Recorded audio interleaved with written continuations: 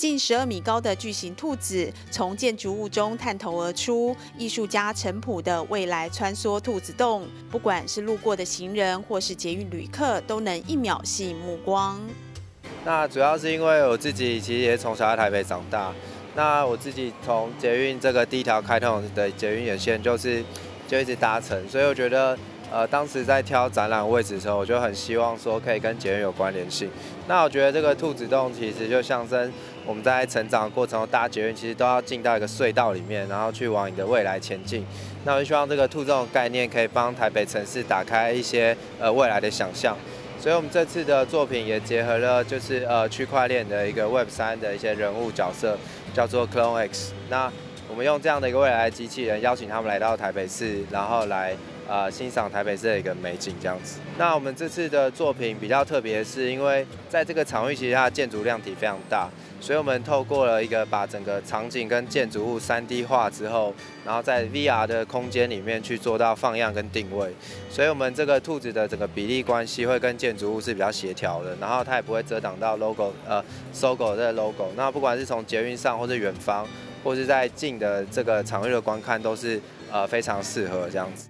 在搜狗中校馆前的嗨嗨的，以可爱的大型充气装置，表达人们有时想躲起来，又想让别人看到自我的状态。在国父纪念馆站一号出口，则是有国际艺术家大岩奥斯卡的光兔现踪。这件作品名叫嗨嗨，是打招呼又藏起来的意思。那大家兔年，今年是兔年，所以大家可以看到艺术家做了一个很大型的兔子，可是它跟一般的兔子的形状很不一样，它是有一种藏起来的感觉，其实就可以符合到像一只兔子还很调皮的心境，然后也很像我们现在年轻人那种，好，我想被大家看见，可是又想要表隐私，然后有种矛盾很有趣的那种世世代风情，那其实这是我们这个作品想要表达的。那这个作品它其实有很高的互动性，人们除了可以里面进去拍照打卡之外呢，它拍手，大家可以看到民众都玩得很开心，拍手的时候也会有光线的变化。它其实是一个互动性很高的作品。这次作品叫做《光兔献中》，然后是由四次受邀到濑户日本濑户内海艺术季的国际型的艺术家大岩奥斯卡他所设计的。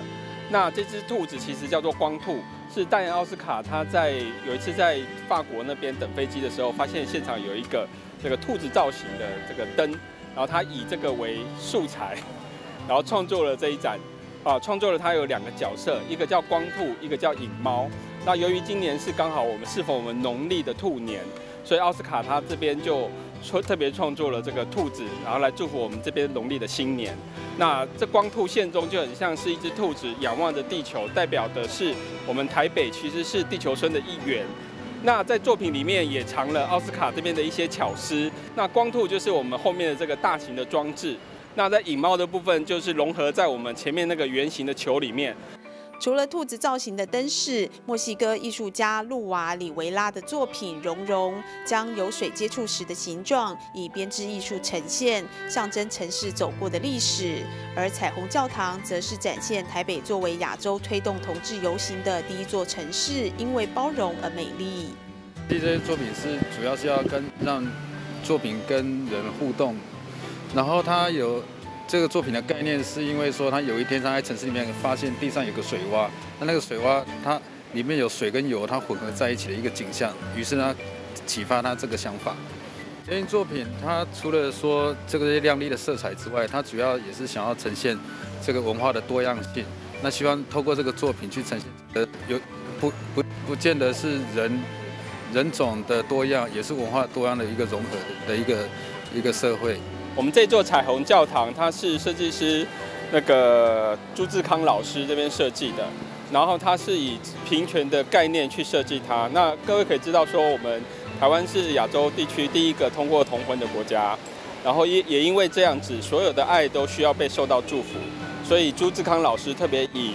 彩虹教堂这个概念，因为彩虹它包含了所有的颜色，那也包含了所有需要被爱跟爱人的人。啊特别以像这样子一个充气的装置，然后去展现出这个我们台北市这边跟其他都市比较与众不同的地方。然后在塔尖的地方是两个大型的音叉，当风吹过去的时候，就可以听到如同那个呃教堂般的那个钟声的声响。不止大街上精彩，商圈巷弄内也由专业艺术团队、媒合店家与艺术家设置四十三件艺术入店作品，让东区宛如一座大型开放式的艺廊。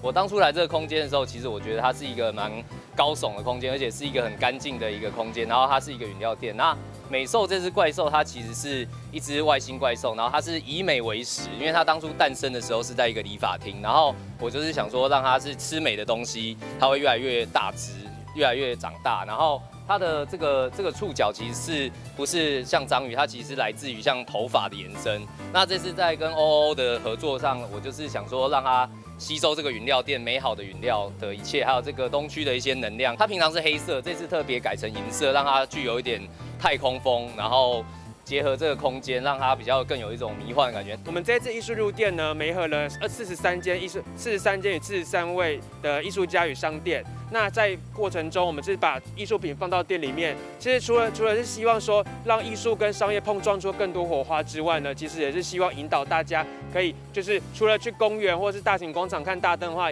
也可以回来来东区消费，然后